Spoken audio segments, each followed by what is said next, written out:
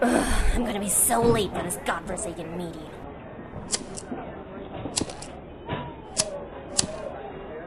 Don't get on the plane.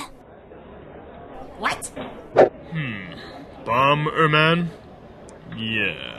Uh, I'm sorry, but you've been selected for additional screening. Oh, come on.